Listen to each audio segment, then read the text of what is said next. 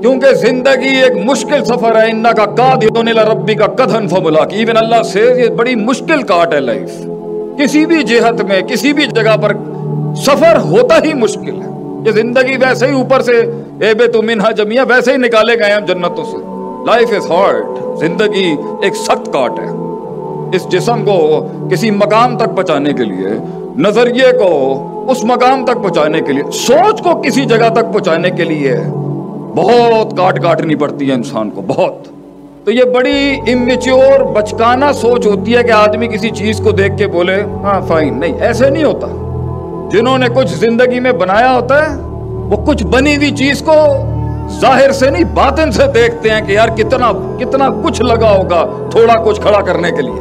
तो बड़ी बात है कि इसने सिलसिला काटा, पहुँचा, चलते फिरते, मगर वो सोच ही किया जिसे दुश्मन नसीब ना हो। वो सोच ही क्या जिसे नाकिदीन नसीब न हो? वो सोच ही क्या जिसे हासिदीन नसीब न हो? वो ख्वाब ही क्या जिसे हाकिदीन नसीब न हो? वो सोच ही क्या जिसे गैर नहीं, अपने बैठ के कह रहे होते हैं?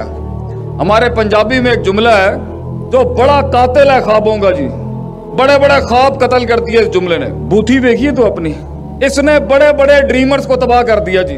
बंदा आके कहना जी, ए, मैं करना चाहना। ये जुमला जो मारा है ना बूथी देखी तू अपनी तो गोरे ने ना बड़ा कल्चर्ड जुमला बनाया उसके रद के अंदर if you are pointing one finger at someone there are three fingers pointing at you yes भाई अगर ए उंगली ਤੁਸੀਂ ਕਿਸੇ ਦੇ ਅੱਗੇ ਤਨਕੀਦ ਕਰ ਰਹੇ ਹੋ ਨਾ ਤਿੰਨ ਉਂਗਲੀਆਂ ਤੁਹਾਡੇ ਖਿਲਾਫ ਵੀ ਆਂਦੀ ਪਈ ਸਾਡੇ ਵਾਲਿਆਂ ਨੇ ਫੇਰ ਚਾਰ ਕੱਢ ਕੇ ਕਿਹਾ ਫੇਰ ਬੂਥੀ ਵੇਖ ਜਾ ਕੇ ਤੂੰ ਆਪਣੀ तो वो जिंदगी क्या जब तनकीदे ना हो कमर तोड़ने वाले जुमले ना हो सीने पे तीर और कमरों पे वो नेजों की वो बरसात ना हो। ऐसी सफ़र, एक ऐसी ज़िंदगी जिसको दुश्मनी नहीं मिला, ये भी माठा है।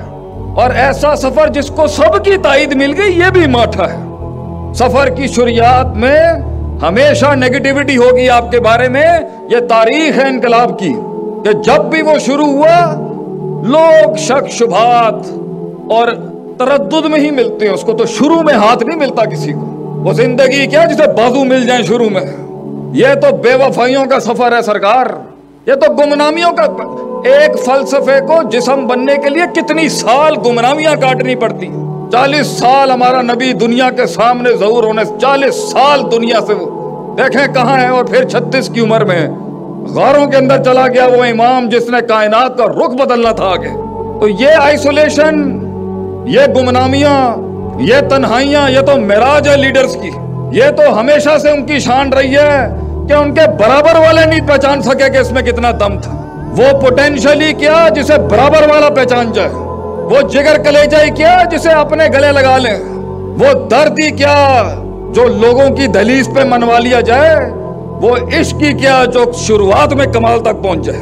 ये तो बेवफाइयों का सफ़र है। क्योंकि अगर चार कदम आपके और मेरे बढ़ गए आगे तो उनका झूठ जो उन्होंने अपने अंदर मारा हुआ होता है, जब वक्त की हसासियत और तकाजा उनको कह रहा था कि फिर सबक पढ़ सदाकत का, अमानत का, क्यादत का, इमामत का फिर सबक पढ़ खड़ा कर अपने आप को।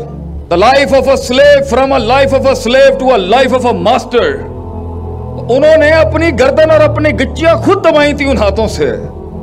तो जब दूसरे चार कदम बढ़ाते हैं तो गैर बाद में मारता है, अपना होता है पहला कि कहीं ये मेरे सामने एक मकाफत अमल बन के ना आ जाए उन्हें डर होता है कि हमने तो 20 साल लगाए अपने अंदर की आवाज़ को मारने में, ये कहीं 20 महीने में वो ना करते जो मैं नहीं कर सका। इसलिए वो तनकीद आती है। बिकॉज़ पीपल आर स्केर्ड लोग डरते हैं उस इर्तिका से, उस चेंज से। तो वो शुरुआत ही क्या? वो शुरुआत ही का जिसको सपोर्ट मिल जाए। वो शुरुआत ही क्या जिसे दोस्त मिल जाए? वो शुरुआत ही क्या जिसे बाजू मिल जाए? हमें तो कोई कहता है ना, जी, हमारी टीम खड़ी है तो हम पहली चीज़ ये पूछते हैं, भैया, तेरह साल की स्ट्रगल में स्ट्रगल में उन्हें तीन सौ नहीं मिले। बड़ी बात है, तुझे पचास भी मिल गए हैं यहाँ पर। तो बड़ा, बड़ी काट है ये, बड़ी पेचीदगी है इसके अंदर। आएँगे मफाद लेने के लिए लोग बड़ा। कुछ लोग होंगे चिट्टे मुनकर। और ये तीर चलते लेंगे तो पहला सबक इस सफ़र का ये है मेरे भाई, मेरी बहनों। मेरा खानदान, मेरी कौम बैठी है सामने। इनको कान नहीं देते कभी। अगर सुनेगा ना मेरे भाई तो ये तुझसे तो तेरा वजूद अदम में ले जाएँगे। इस पर एक लतीफा सुनाते हैं हम आपको। कान नहीं देते इन चीज़ों को। शुरुआत में कान नहीं देते, बल्कि जवाब कभी नहीं देते। शायद कल से यही समझाता है मैं सबको कि जवाब नहीं देते। काम खुद जवाब देता है अपनी जगह के ऊपर। तरक्की खुद बोलती है। वो अदावत ही क्या जिसे जुमले देने पड़ जाए। वो दुश्मनी क्या जिसे जुमले देने पड़ जाए। इंसान का काम बोलना चाहिए। हमसे पूरा पाकिस्तान सवाल करता है और अब तो बैन अवी दुनिया से पूछते जी माँ बाप को कैसे कायल करें? मैं ये करना चाहती हूँ, मैं ये करना चाहती हूँ। How should I convince my parents माँ बाप को कैसे कायल करें? जैसी उन्होंने वही गल सुनाने और भाई माँ बाप को, बुज़ुर्गों को कायल नहीं किया जाता। सिर्फ़ दिखाया जाता है, कायल वो खुद हो जाएँगे। मुँह के फायर चलाता रहेगा, तेरा अपना साया नहीं मानेगा, तू कौम के दिल के अंदर अल्फाजों के साथ वो विजन उतारेगा, ये होता ही नहीं है। तो शुरुआत बड़ी खामोशियों की होती है उन लोगों की जो बने थे आसमानों पे राज करने के लिए। खामोशियाँ नहीं देखी हमने जिंदगियों में। सकूत, एक शेर की खामोशी, उसके बालों के अंदर वो हैबत तो सबको दिखती है, लेकिन सदियों की काट जो वो काटता है कि शेर को आप जाके यूट्यूब पे लिखिएगा इन्फेंटिसाइड ऑफ़ लायंस तो एक वर्कशॉप सिर्फ़ शेर पे होनी चाहिए। कि शेर को उस मकाम तक पहुँचने के लिए कि उसे बगैर कहे पूरे जंगल के अंदर लोग मानते हैं काट काटी होती है, उसने खामोशियों की।